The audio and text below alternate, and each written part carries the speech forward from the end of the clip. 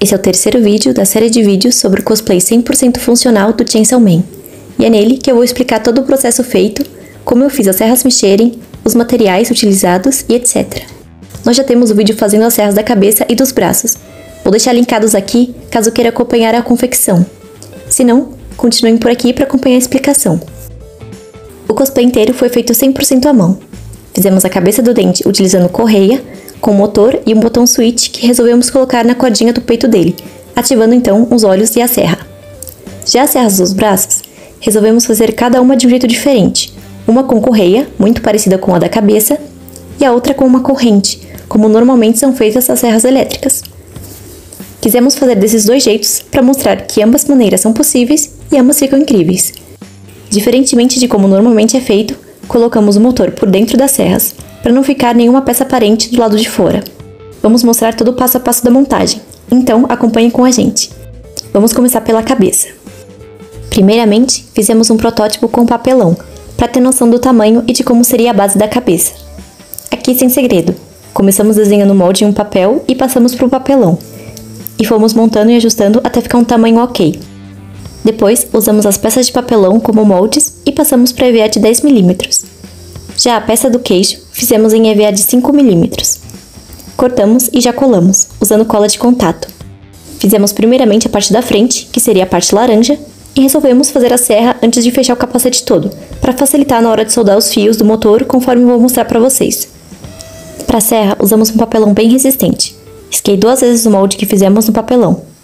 Vou deixar as medidas de todas as peças aqui embaixo na descrição, caso queiram fazer igual. Lembrando que essas são as medidas que eu utilizei. Se quiser modificar o tamanho, precisa medir direitinho antes para saber o tamanho das peças a serem compradas ou confeccionadas. Aqui, peguei um EVA de 5mm e fiz três círculos, para montar a roldana. No centro desses círculos, utilizei esses rolamentos aqui. Cortei o espaço necessário e então colei os três círculos juntos, e o rolamento bem no centro. Depois, cortei aqui dois círculos de papel paraná, 2 centímetros maiores que os círculos de EVA, e fiz um furo no centro. Vou colar a parte que fizemos de EVA no meio desses dois círculos de papel, como se fosse um sanduíche. E por fim, utilizei um palito de madeira para colar no meio disso tudo. Colei o palitinho em uma das extremidades da serra. Aqui, minha roldana está preta porque passei batida de pedra e lixei, para deixar tudo bem lisinho, mas não precisa fazer isso. Logo em seguida, fui desenhando vários retângulos para colar no corpo da serra, para assim deixar mais firme. Colei o suficiente até atingir a altura da roldana. Na outra ponta, fiz um corte para caber o motor. O motor que utilizamos é um motor DC com caixa de redução para carrinhos. Vou deixar o link na descrição caso queiram dar uma olhada. Ele vem com esses dois pininhos, um de cada lado. Eu cortei com estilete um dos pininhos para não ocupar tanto espaço, afinal só precisaria de um. Encaixei e colei na serra, deixando somente o comecinho dele para dentro, com a maior parte para fora. Em cima do pininho, eu colei outra roldana que fiz, exatamente do mesmo jeito que fizemos anteriormente. A única diferença é que o furo do centro dela será do tamanho do pininho do motor. Com isso pronto, peguei uma tira de EVA comum para ser a nossa correia. Passei a tira pelas rodanas e colei as pontas. O ideal é que ela fique bem justa, nem muito apertada e nem muito solta. E por fim, colei a outra parte da serra por cima de tudo, tampando. Passei cola na ponta do palito e nos pedaços de papelão, deixando a outra rodana livre. Para os dentes da serra, eu fiz com EVA mesmo. Fiz triângulos finos de tamanhos variados.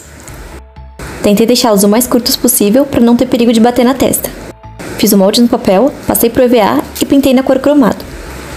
Usei batida como primer para não perder a textura emborrachada, afinal isso estaria girando perto demais da minha testa, e fui colando ao longo da correia inteira, utilizando cola instantânea mesmo. Nessa parte fui adicionando os detalhes finais, e também opcionais, no nosso caso, cortamos vários retângulos pequenos de EVA e colamos por toda a borda da serra. Decidi pintar a serra já nessa etapa antes de encaixar na cabeça. E aqui, utilizei batida de pedra como primer e também massa corrida, para tirar toda a textura de papelão. Lixamos muito bem toda a massa e repetimos a camada de batida. E por fim, utilizamos tinta spray na cor cromado, ficando assim. Antes de colar na cabeça, soldamos dois fios no motor que seriam ligados ao botão e às pilhas. Soldamos agora, já que seria difícil fazer isso com o motor enfiado dentro do capacete. Seguida, cortamos dois pedaços de EVA do mesmo formato da parte central da cabeça e colamos no final da serra. Elas ajudariam a fixar melhor a serra dentro da cabeça. Colamos também a parte de fora com cola quente, para ajudar a fixar e também para aproveitar a textura da cola para fazer as gosmas que ele tem nessa parte. E agora é montar a parte de trás. Como sempre, fomos criando os moldes a olho, passando para EVA e ajustando o tamanho para encaixar o melhor possível na peça. Por esse motivo, também não temos os moldes certos para disponibilizar, já que fomos criando e adaptando na peça.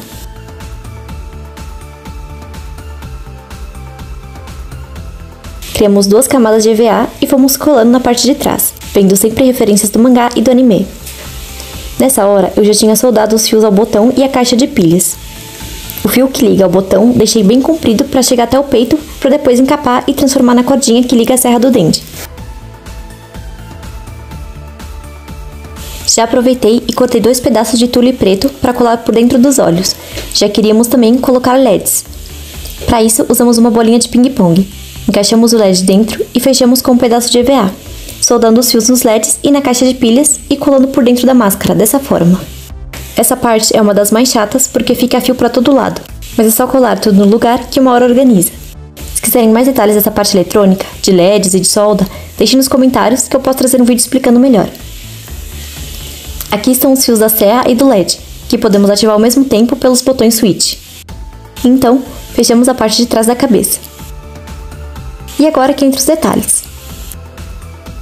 Nesse momento, fomos desenhando moldes para os detalhes, criando peças de EVA, olhando referências e colando no capacete. Acredito que quanto mais detalhe, melhor fica. E você pode seguir a risca o modelo do anime ou ser criativo e encaixando peças, como essas que fiz com EVA e tule.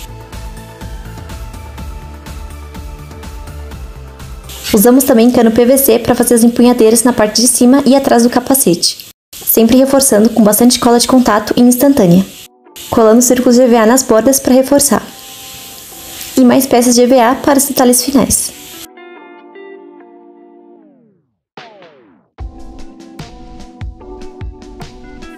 Nessa peça de EVA da lateral, colamos fios de elástico em toda a sua extensão, para imitar os cabos que ficam perto da boca do dente. Para os dentes, usamos EVA de 10mm também, Cortamos várias formas triangulares e fomos arredondando com a microretífica. Colocamos palitinhos e fomos posicionando da melhor forma no queixo e na cabeça. Passamos batida como primer e pintamos de branco. Esse aqui já é o queixo montado com os dentes.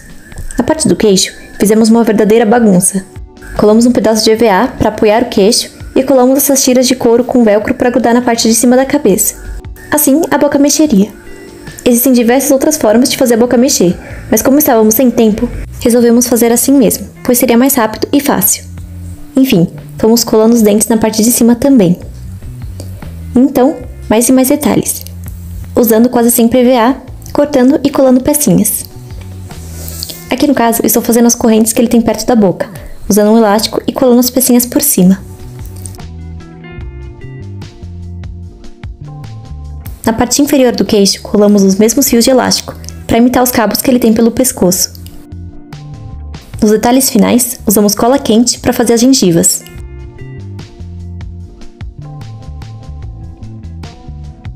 E antes de finalizar, resolvemos colar mais tiras de couro e velcros no interior do capacete, além de mais pedaços de EVA para fechar mais, estava pesada demais e caindo para frente.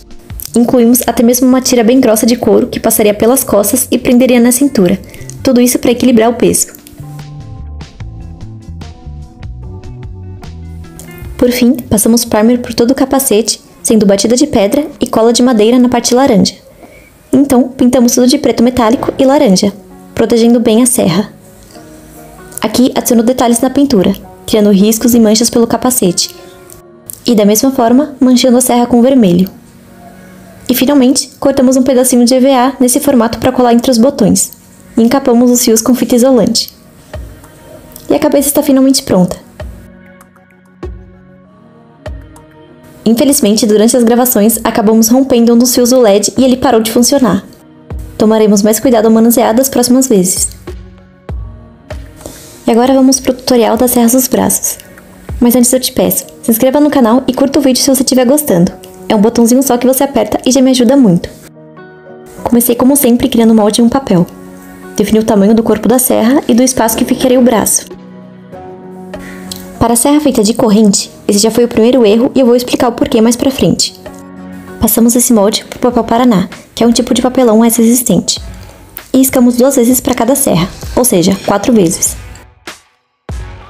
Vou começar pela serra da correia, então usamos papelão por toda a extensão da serra para deixá-la bem dura e resistente.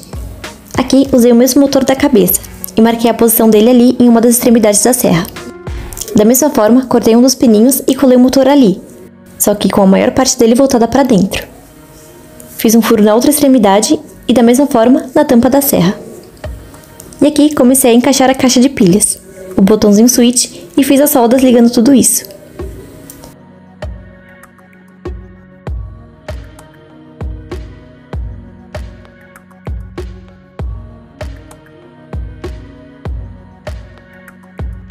Depois comecei a colar camadas de papelão por toda a serra, para encorpá-la.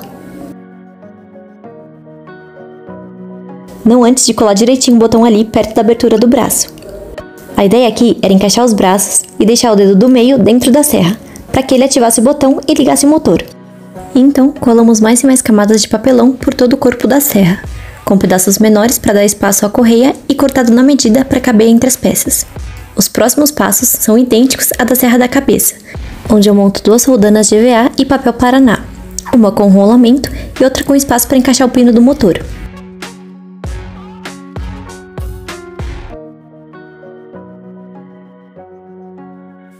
Faço a tira de EVA e passo por dentro de ambas.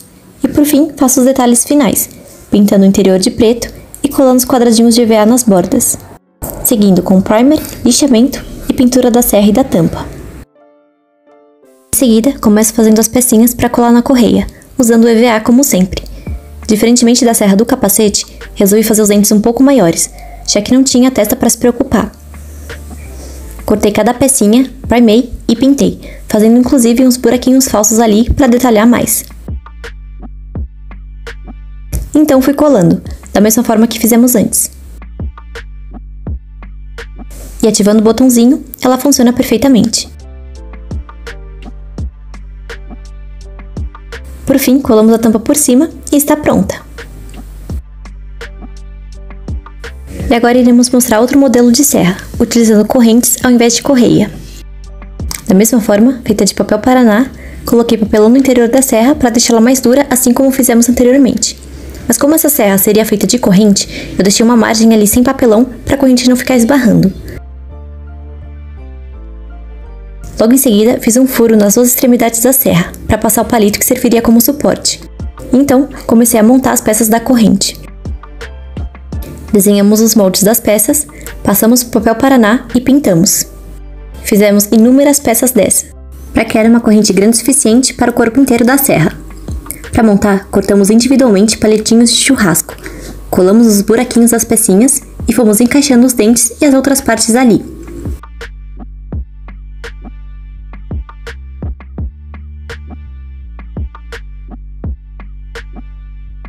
Usamos também miçangas para servir como rolo de corrente, bem parecido com aquelas correntes de bicicleta. Montamos a corrente inteira e meu erro foi justamente ter feito o corpo da serra antes de saber as medidas da corrente, porque isso prejudicou no resultado final. Afinal, as medidas das peças não tinham como ser alteradas. Enfim, feito isso, desenhamos uma engrenagem, colamos o papel Paraná e recortamos. Olhando assim, ela parece inofensiva, mas foram diversos cálculos para saber exatamente o tamanho ideal para caber na corrente. Fizemos duas camadas de engrenagem e colamos o mesmo rolamento da cabeça. Assim como o palitinho de madeira que colamos no centro. Passamos também batida de pedra, e tivemos depois que lixar um pouco as pontas, pois estavam grossas demais para caberem nos espaços da corrente. Peguei duas outras engrenagens, dessa vez cortadas em MDF, porque estávamos com preguiça de cortar tantos dentes assim na mão, e usamos o mesmo motorzinho de sempre onde aqui colamos uma das engrenagens no pininho e a outra colada na engrenagem maior, com uma basezinha de EVA entre elas para ficar na mesma altura da engrenagem no motorzinho. Então, encaixamos esse conjunto de peças em uma das extremidades da serra e na outra colamos somente uma engrenagem maior sozinha, presa ao rolamento e ao palitinho de madeira. Depois dessa etapa, já colei a caixinha de pilha e soldei o motor. Então, fui colando novamente várias camadas de papelão ao longo da serra toda, para encorpá-la. Antes de adicionar mais camadas, colei e soldei o botão switch aos fios.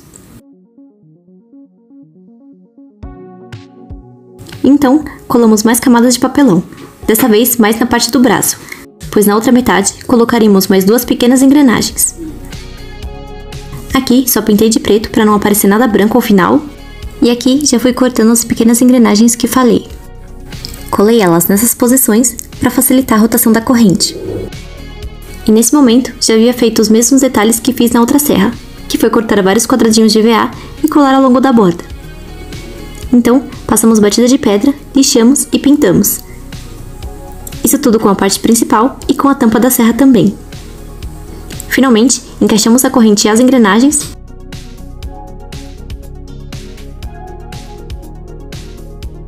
Testamos e tampamos, encaixando nos palitinhos de madeira. E ela ficou fantástica olhando agora, mas passamos por vários problemas por conta dessa corrente. Primeiramente, nós tivemos diversas falhas, tentativas e erros até chegar nesse resultado. Começando pela grossura da serra. Se o motor tivesse ficado completamente para fora, ela seria mais fina e o processo seria muito mais simplificado. Mas como quisemos deixar a serra limpa, optamos por deixar o motor por dentro. Segunda coisa foi que fizemos vários tipos de corrente, com EVA, com papel Paraná e tentamos inclusive com MDF. Obviamente, a corrente mais simétrica foi a de MDF, que cortamos a laser. Inclusive, as pecinhas de MDF foram essas mostradas no vídeo. Eu comento que fiz com papel Paraná porque eu realmente fiz com papel Paraná. No entanto, eu não gravei nada dessa parte. E para gravar montando, eu tive que fazer com as de MDF, que eu não tinha montado ainda. O problema é que a primeira corrente de EVA que eu fiz foi uma corrente completamente errada e não deu certo. A corrente de papel as medidas ficaram erradas e não conseguimos encaixar direito. Então, como estávamos na pressa e não tínhamos tempo para fazer tudo de novo pela terceira vez à mão, mandamos cortar a laser em MDF fino, com as medidas certas dessa vez. E para ajudar, ela ficou pesada demais para esse tipo específico de motor. Ela ainda roda, mas com certa dificuldade, e muitas vezes ela para porque o motor não tem força suficiente. Então, o ideal seria trocar por um motor mais forte, caso sua corrente fique pesada demais, ou então fazer com materiais mais leves, como papel ou EVA mesmo, mas medindo direitinho para não ter problemas como eu tive. Enfim, esses foram os problemas que tivemos. Esse foi o cosplay mais elaborado que fizemos até então, com direito a partes eletrônicas e etc. Então foi muita pesquisa envolvida, tentativas e erros, enfim, não é um cosplay perfeito, tem muitos erros e ainda temos muito a melhorar. Inclusive, se você é um conhecedor dessa parte mais complexa, deixe aí sua dica, que com certeza iremos fazer melhorias nesse cosplay.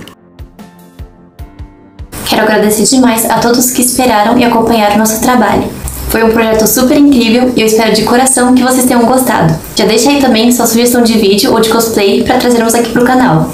Muito obrigada por assistirem até aqui e até a próxima!